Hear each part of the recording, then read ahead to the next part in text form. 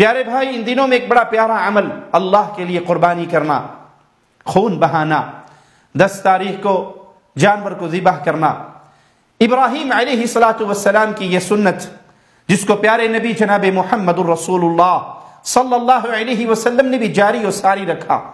پھر آپ کے صحابہ اور آپ کی امت کے اندر آپ کی یہ سنت زندہ ہے۔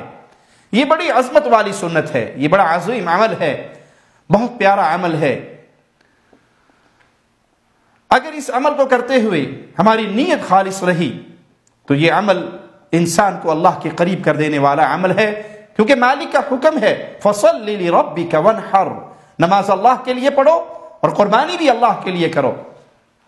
قربانی عید کی نماز کے بعد کی جاتی ہے۔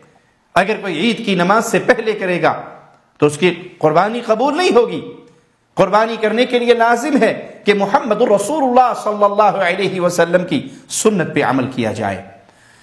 قربانی کس کی قبول ہوگی؟ جس کا عقیدہ توحید درست ہوگا۔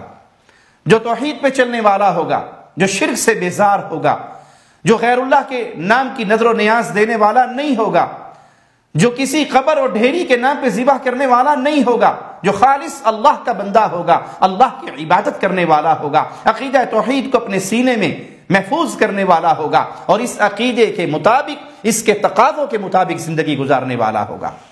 اگر عقیدہ توحید درست نہیں ہے، رک جائیے۔ اس قربانی کو کرنے سے پہلے رک جائیے۔ اگر آپ کا عقیدہ درست نہیں ہے آپ اللہ کے لیے بھی ذبح کرتے ہو اور پیر کی ڈھیری کے لیے بھی ذبح کرتے ہو اللہ کے لیے بھی خون بہاتے ہو اور بابا کو راضی کرنے کے لیے بھی خون بہاتے ہو عرصوں پر بھی جا کر جانوروں کی نیازیں پیش کرتے ہو تو رک جائیے قربانی کر کے پیسے خراب نہ کیجیے پہلے اپنے عقیدہ توحید کو درست کیجیے کسی مشرق کی قربانی اللہ کے ہاں قبول نہیں ہوتی یہ قربانی کرو گے یہ خون یہ گوشت یہ چمڑی اللہ کو نہیں پہنچتی۔ اللہ کو تمہارے دل کا تقوی پہنچتا ہے۔ وہ تمہارے دلوں کو دیکھتا ہے۔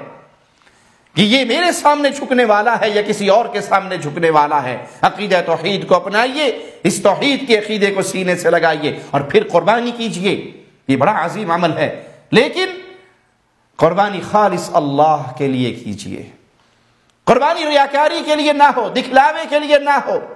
وگرنہ ریاکاری کی لعنت سے اور اس کی نحوست سے جو بھی عمل کیا جائے گا، وہ عمل برباد ہوگا، وہ عمل مردود ہوگا۔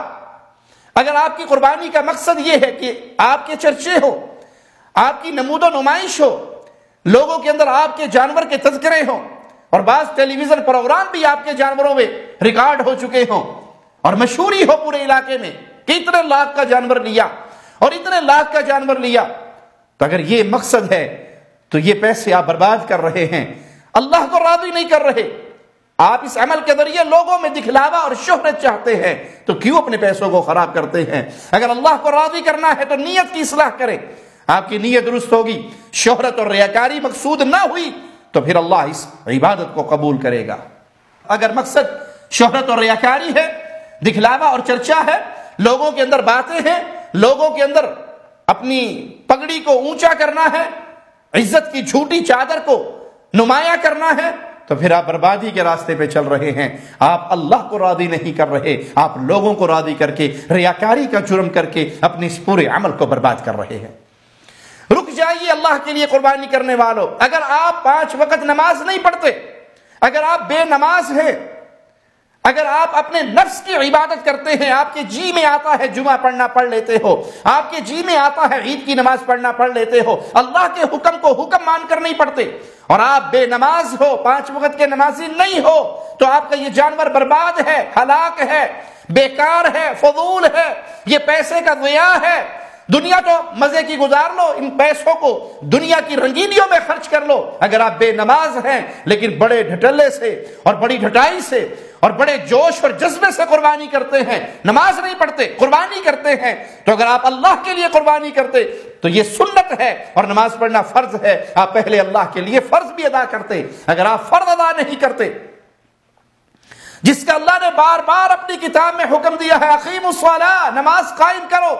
اور آپ نماز قائم نہیں کرتے، لیکن قربانی کرتے ہیں۔ تو یاد رکھیے، یہ آپ اللہ کے لیے نہیں کر رہے، لوگوں میں چرچے کے لیے کر رہے ہیں۔ بے نماز کی قربانی برباد ہے۔ اگر آپ سود خور ہیں، اگر آپ بینک کے ملازم ہیں، اگر آپ سودی کاروبار کے اندر پارٹنر ہیں، اگر آپ سود دیتے ہیں یا لیتے ہیں، سود کے اس ظالمانہ نظام کا آپ حصہ ہیں، تو آپ بے وقوفی کر رہے ہو قربانی کر کے، کیونکہ ناپاک اور پلیت مال کو اللہ قبول نہیں کیا کرتا۔ اگر آپ کا مال حلال نہیں، اگر آپ کا مال پاکیزہ نہیں، یہ لوگوں کا چھینا ہوا پیسہ ہے، کسی کا دبایا ہوا قرض ہے، بہنوں کا مارا ہوا حق ہے، اور اس حرام مال سے آپ قربانی کرنے لگے ہو، تو بیکار ہے، اس مال کو اپنی دنیا کی رنگینیوں میں خرچ کر لو۔ اللہ کے ہاں یہ قبول نہیں ہوگا، اللہ کے ہاں قبول کروانا ہے، تو آپ کو حلال اور پاکیزہ اور طیب مال خرچ کرنا ہوگا۔